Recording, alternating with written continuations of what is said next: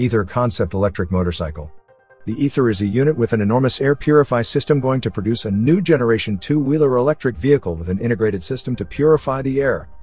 The air purifying system consists of a ceramic filter module that intercepts PM2.5 particles present in the air passing from the module.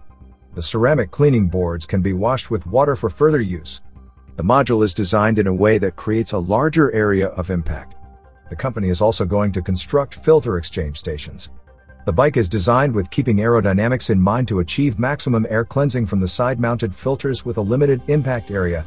The air pressure will not be able to create a negative kind of pressure on the panels inside the body and this problem is tackled by designing layered sheet stacks which will lead to maximum area flowing from the side of the bike and not from the center.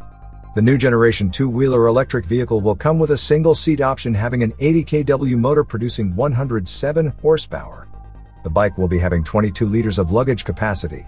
The bike will have a 10 kWh of lithium battery capacity giving a travel range of 200 kilometers which can be charged while traveling wirelessly with a new technology-based charge road with a speed of 30 kW and can be wirelessly charged home with the help of 22 kW Qualcomm Halo.